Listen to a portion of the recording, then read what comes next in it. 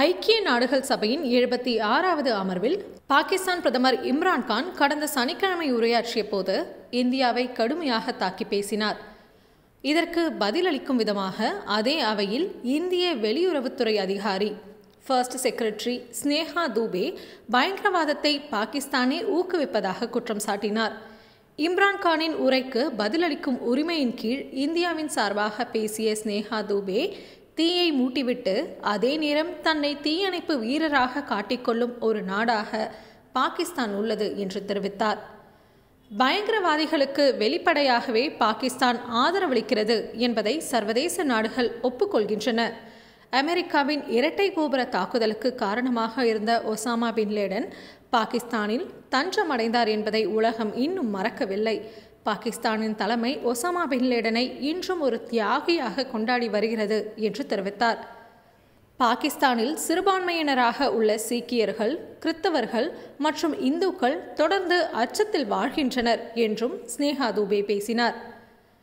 பாகிஸ்தானுக்கு ஸ்னேஹா தூபே அளித்த எதிர்வினையை சமூக ஊடகங்களில் இந்தியர்கள் பலரும் கொண்டாடி அவருக்கு வாழ்த்துக்களை தெரிவித்து வருகின்றனர். தமது பேச்சின் போது இந்தியாவில் ஊடகமும் நீதித்துறையும் சுதந்திரமாக செயல்படுவதாக கூறிய ஸ்னேகா அவை அரசியலமைப்பை காப்பதாகவும் தெரிவித்தார். ஜம்மு காஷ்மீர் லடாக் ஆகிய யூனியன் பிரதேசங்கள் இந்தியாவின் ஒருங்கிணைந்த மற்றும் பிரிக்க முடியாத பகுதிகளாக இருந்தன இருக்கின்றன மற்றும் என்றும் இருக்கும் என்றும் அவர் திட்டவட்டமாக தெரிவித்தார்.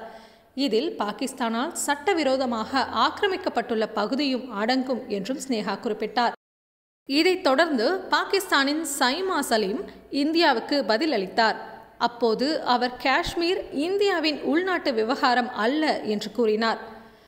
சர்வதேச மன்றத்தில் சர்ச்சைக்குரிய பிரதேசமாக உள்ள காஷ்மீரை இந்தியா ஆக்கிரமித்துள்ளது.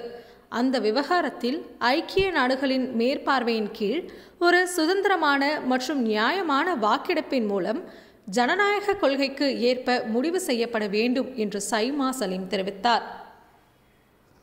பாகிஸ்தானுக்கு எதிராக இந்தியா ஆதாரமற்ற குற்றச்சாட்டுகளை சுமத்தி வருவதாகவும் காஷ்மீரில் நடக்கும் மனித உரிமை மீறல்களிலிருந்து கவனத்தை திசை திருப்ப பொய்களை கூறி வருவதாகவும் அவர் கூறினார்.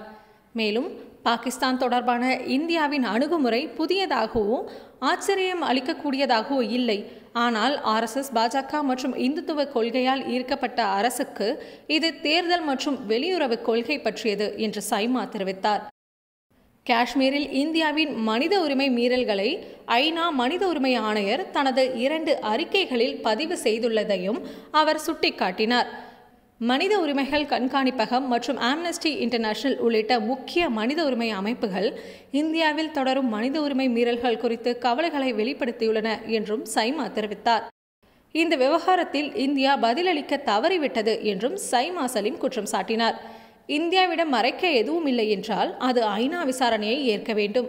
கூடவே ஜம்மு காஷ்மீர் மக்கள் தங்கள் முடிவை எடுக்கும் விதமாக பாதுகாப்பு சபை நிர்ணயிக்கும் கருத்து வாக்கெடுப்பு யோசனையை ஏற்க வேண்டும் என்றும் அவர் வலியுறுத்தினார். இந்தியாவில் சமூக ஊடகங்களில் பலர் ஸ்னேகா தூபேயை பாராட்டி வருவதைப் போலவே பாகிஸ்தான் ஊடகங்களும் அந்நாட்டை சேர்ந்த சமூக ஊடக பயனர்களும் தங்கள் நாட்டின் வெளியுறவு அதிகாரி சைமா சலீமை பாராட்டி வருகின்றனர். சைமா சலீம் ஒரு பார்வை மாற்றுத்திறனாளி என்பதும் குறிப்பிடத்தக்கது.